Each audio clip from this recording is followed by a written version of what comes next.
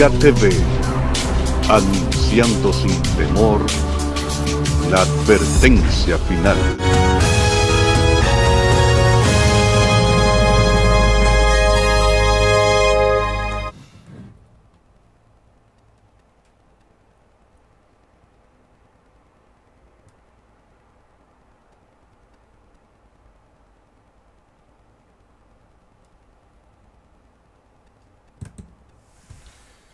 Muchas bendiciones para mis hermanos y hermanas de diferentes partes del mundo. Su hermano Pedro Pablo Malavé para Omega TV. Y en esta ocasión quiero agradecerle a Dios porque nos ha dado la vida, nos da la salud y por todo debemos darle gracias a Dios. Quiero pedirle excusa porque esto, estoy usando lentes por un problema en la visión que tengo. Pero gracias a Dios hasta por eso. Gracias por todo.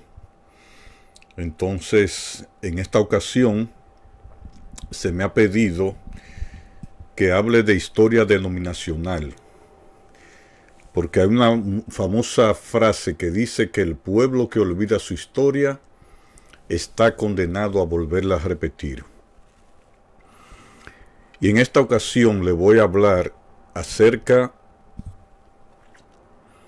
de eh, un hombre muy conocido en la historia denominacional adventista que influyó bastante. Y durante años, quiero aclarar que he tratado de evitar hablar de este tema. No evitar, porque cuando el Espíritu Santo le toca a uno hablar de cualquier cosa eh, o de cualquier tema, uno tiene que hacerlo, pero en su momento. Yo siempre he dicho que nunca he sido extremista, nunca he sido fanático. Este mensaje que se ha dado hoy en día que para mí es la apostasía omega, la verdadera apostasía omega, de los cambios que la sierva de Dios dijo que se iban a dar dentro de la corporación adventista.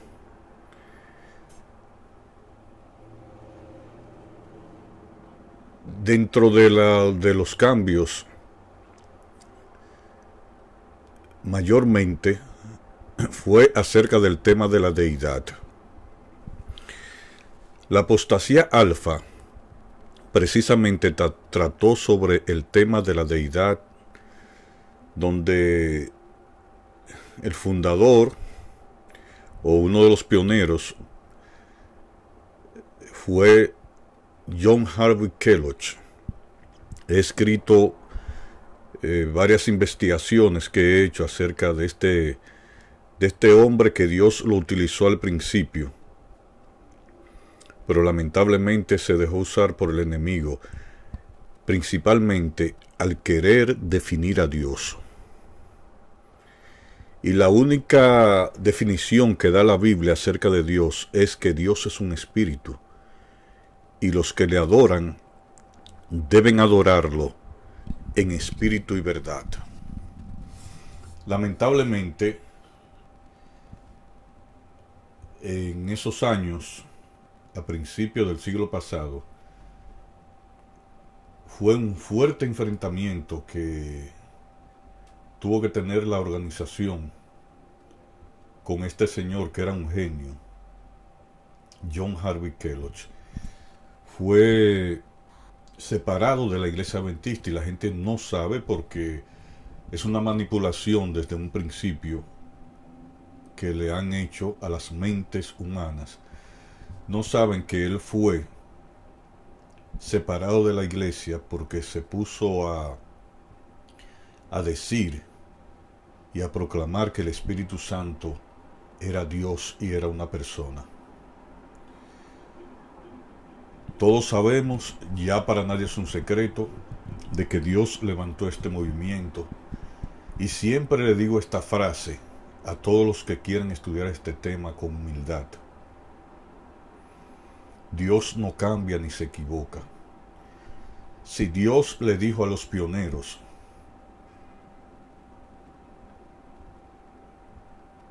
Dios le dio luz acerca de este tema a los pioneros. No, Él no puede venir ahora. Eso es lógico. Dios no puede decir, no, yo me equivoqué. Otros dicen que la verdad es progresiva. Pues claro, sí, yo lo creo que la verdad es progresiva. Pero una verdad es progresiva si está de acuerdo con la anterior. No podemos decir ahora que el domingo es el día de reposo porque la verdad es progresiva. Entonces, en 1872, después de nueve años de haber sido fundada, que tampoco eh, muchos pioneros no estuvieron de acuerdo porque Dios levantó un movimiento, fue, para proclamar sus verdades al mundo entero, eh, ellos tuvieron que, que, escribir las 25 creencias, fueron 25. 25 creencias fundamentales. Yo la tengo en español, si quieres se la hago llegar.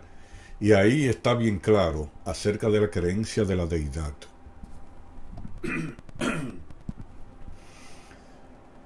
Entonces, nunca otra cosa fue que el esposo de eso es un resumen que le estoy haciendo por factor tiempo porque vamos a hacer este tema en, varios eh, programas. Mientras el esposo de Elena White, Jaime White, predicaba desde los púlpitos, escribía en las revistas y en los periódicos que la Trinidad era de origen pagano y era una doctrina diabólica. Nunca he leído que ella los reprendió. Siempre Dios le hablaba cuando ellos estaban equivocados.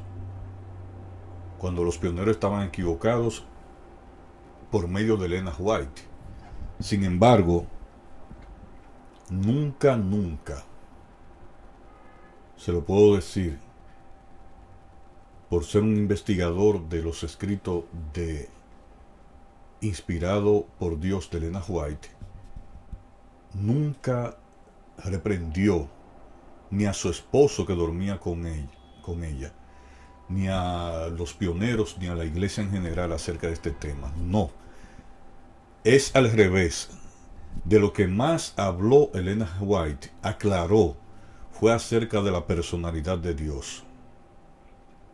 Y está bien claro acerca de la creencia que tenía la iglesia y tenía ella nunca cambió, porque también, si hubiese cambiado, no hubiese sido inspirada por Dios. Nunca cambió. Hay hermanos que para justificar sus creencias han dicho de que ella se equivocó. Ella no se equivocó.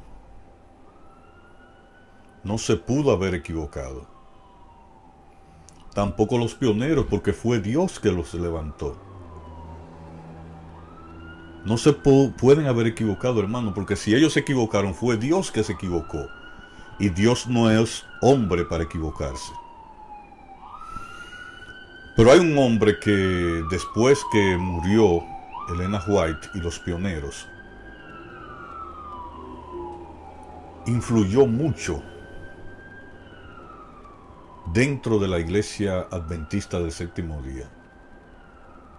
El famoso Leroy Fromm. Leroy Edwin Fromm. Y en esta, en esta grabación le vamos a explicar para que ustedes investiguen por sí mismos, para que no se dejen manipular ni se dejen engañar. Ese es el propósito acerca de este tema. No lo hago con el ánimo de crear controversia como muchos lo hacen. Nunca he estado de acuerdo con eso. Si usted quiere aceptar, acepta. Si no quiere aceptar, tampoco acepta. Pero recuerde que cada quien le vamos a tener que dar cuenta a Dios por los errores que aceptamos y si Dios utiliza a una persona para decir una verdad y usted la rechaza, ese es el pecado contra el Espíritu Santo. Lamentablemente, la mayoría ha aceptado hoy en día porque no sabe la historia, ni cuándo la organización, la corporación aceptó esa doctrina de la Trinidad por no investigar. La mayoría se lleva de lo que dicen los púlpitos, de los que dicen en los libros, de lo que dicen los asalariados, sin consultar, sin investigar. Muchas veces, lamentablemente, somos marionetas de ellos. Ya hay muchas maneras de investigar, se lo digo con humildad, no una forma de ataque. Investigue, dedique tiempo, porque en el día del juicio nadie va a tener justificación. Y ella predijo,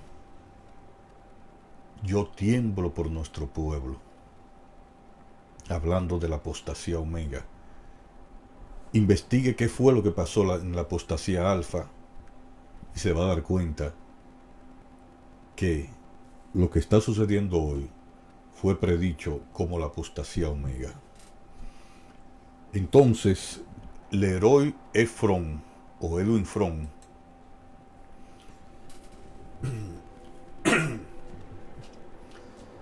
nació un 16 de octubre de 1890, o sea, Elena White estaba viva, y murió un 20 de febrero de 1974. Fue un ministro, también un historiador adventista del séptimo día, cuyos numerosos escritos han sido reconocidos por sus colegas ministeriales. También fue una figura central en las reuniones con los evangélicos que condujeron a la producción del libro teológico adventista Preguntas sobre Doctrina en los años 50. Fromm fue el primer secretario, escuchen bien, el primer secretario asociado de la Asociación Ministerial de la Asociación General de 1926 a 1950. 24 años. También fue el editor de la revista Ministerio, Ministrio. Eso fue desde 1950 hasta su retiro en 1958. También fue secretario de campo de la Conferencia General, asignado a la investigación y también a la investigación de la, de la Biblia. Fue considerado como el principal historiador y apologista de la Iglesia en ese momento. Muchos dicen que fue un jesuita infiltrado y otros dicen que fue un masón. También fue parte de los desarrollos en los institutos ministeriales durante la década de los años 20. Él enfatizó mucho acerca del Espíritu Santo como persona, en lugar de, de ser lo que dice la Biblia y el Espíritu de profecía. También fue el autor del primer libro en la iglesia sobre el Espíritu Santo como el Consolador. A continuación vamos a decirle algunas cosas que influyeron para que usted crea lo que cree hoy. Porque este señor Leroy Fromm trabajó para que la doctrina de la Trinidad fuera aceptada en la corporación adventista hoy en día. Este señor, para nuestra información, compiló el libro Evangelismo. La gente cree que fue Elena G. de White que lo escribió. Ese libro fue escrito o fue compilado en 1946 y juega una parte muy vital e importante. Por ejemplo, aquí tengo lo que él dijo más tarde cuando me reuní con la Asociación Ministerial de la Conferencia General. Hice una investigación considerable en los escritos del espíritu de profecía sobre este tema. Y encontré muchas cosas. Cuando se nos pidió ayuda para compilar el libro Evangelismo, esto, estos y muchos otros consejos se convirtieron en una parte vital de ese libro.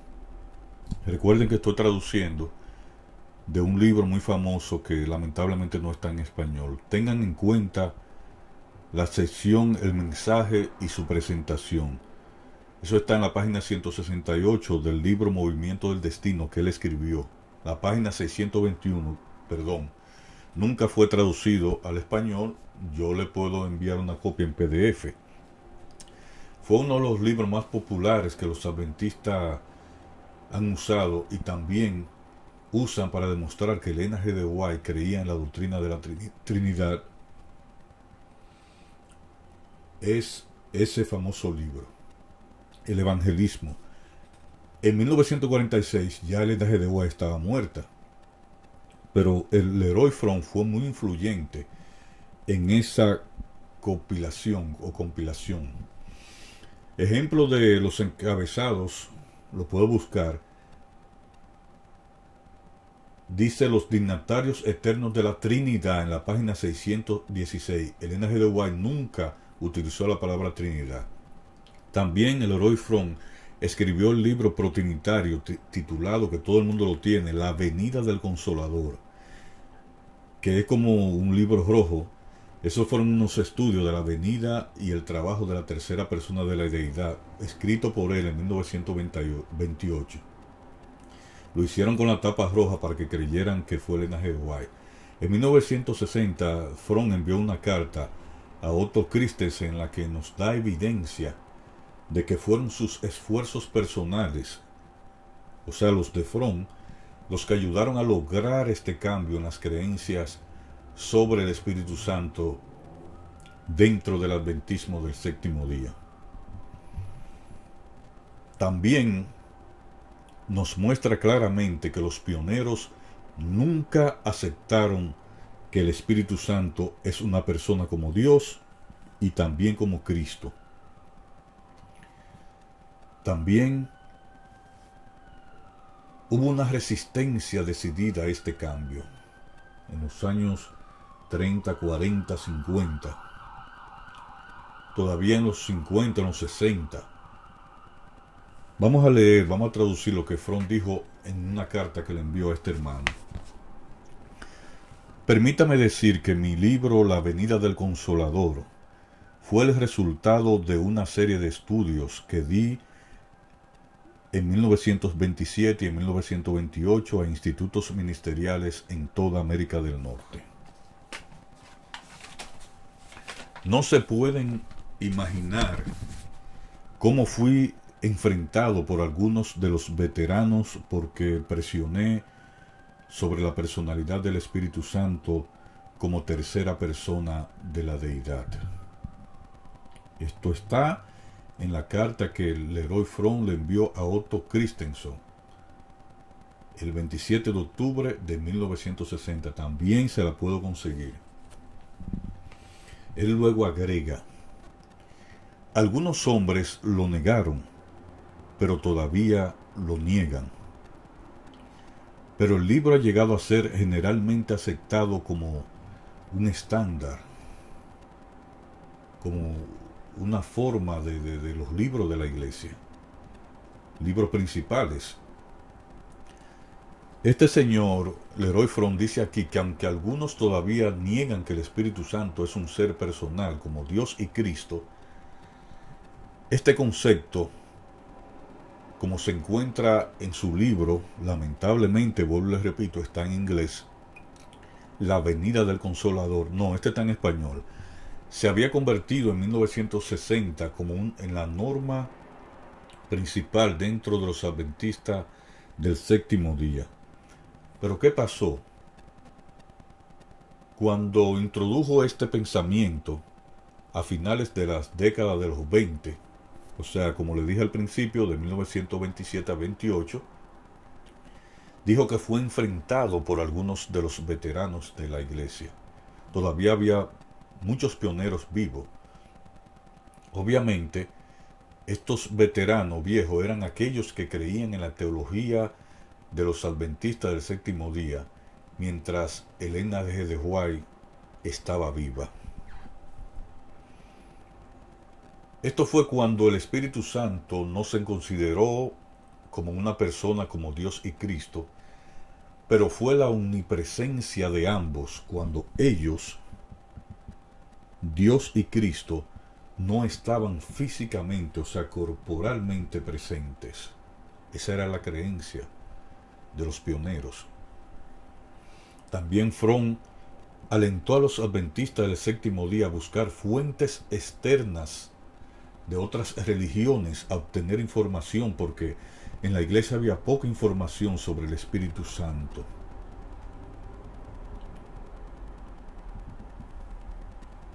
Algunas de las experiencias de este dijo lo siguiente en su libro. ¿Puedo hacer aquí alguna confesión personal? Oigan lo que dijo él.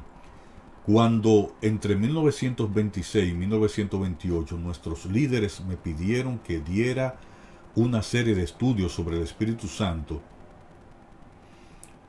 eh, fui a varios institutos ministeriales de la Unión de América del Norte en 1928. Aparte de las valiosas pistas encontradas en el espíritu de profecía, prácticamente no había nada, nada en nuestra literatura que estableciera una exposición bíblica, una exposición sólida en este tremendo campo de estudio. Oigan qué confesión. La que hace el héroe Fromm. Él sigue diciendo que no había libros de búsqueda de caminos previos sobre la cuestión en nuestra literatura, en nuestros libros. Y ahora quiero que presten atención. Me vi obligado a buscar una gran cantidad de libros valiosos que fueron escritos por hombres fuera de nuestra fe. Aquellos previamente señalados en busca de pistas y sugerencias iniciales y abrir una perspectiva que invitaron al estudio personal intensivo. Él fue y buscó en otros libros otras religiones. Teniendo esto, seguí buscando, pero se decidieron por los primeros libros y decenas, si no cientos, podrían confirmar la misma convicción alesionaria que algunos de estos otros hombres con frecuencia tenían una visión más profunda de las cosas espirituales de Dios. Oigan bien, que muchos de nuestros hombres tenían sobre el Espíritu Santo y la vida triunfante. O sea, él reconoció que los de afuera tenían más visión. Y sigue diciendo, para terminar, todavía era un gran tema eh, medio oscuro, en gran medida oscuro. Eso está en el libro 322 de su libro Movimiento del Destino. Qué lamentable. Este enseñó a los adventistas del séptimo día a abrazar, a aceptar y escuchar a los pastores evangélicos sobre la doctrina de la Trinidad. Qué pena. Yo espero que en esta primera presentación y denle seguimiento que voy a hablar, les repito, como les dije al principio, no con el ánimo de hacer controversia, sino con el ánimo de que ustedes investiguen para que no se dejen engañar.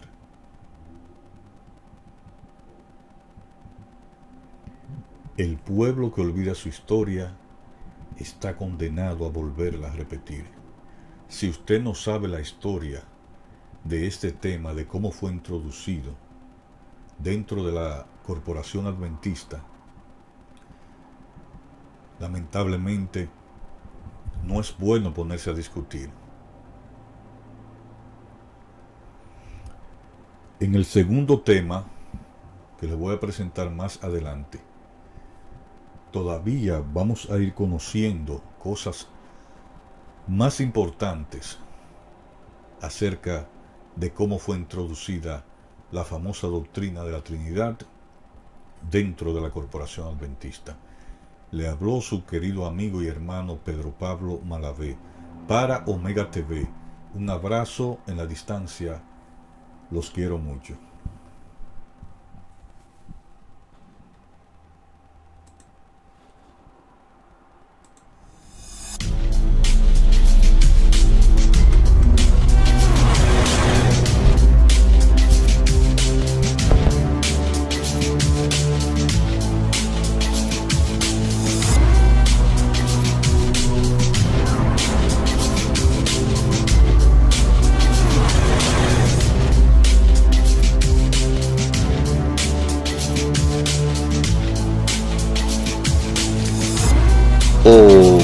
Omega TV, anunciando sin temor la advertencia final.